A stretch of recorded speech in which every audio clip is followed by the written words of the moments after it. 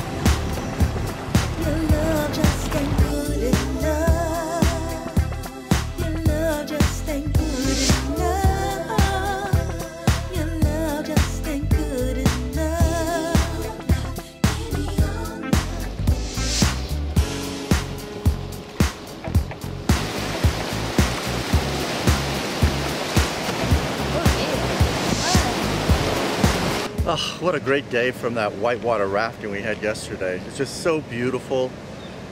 It really was. And we can't even show you the best parts because it wouldn't allow us to take a camera on there, but we got a couple of still pictures we can throw up there. But it was really, really fun. Yeah, we only lost one passenger the whole time. Yeah, and it wasn't us, so we were okay. so uh, we're done staying at the uh, Stagecoach Super 8 in Jackson. Off to Jenny Lake today. We're going to be doing a tour of the lake on a boat, right? Yes. And then where? Uh, then we're off to uh, the beautiful city of the temple, Salt Lake City. Salt Lake City. So our excursion through Jackson and the Tetons continues and then on to Utah.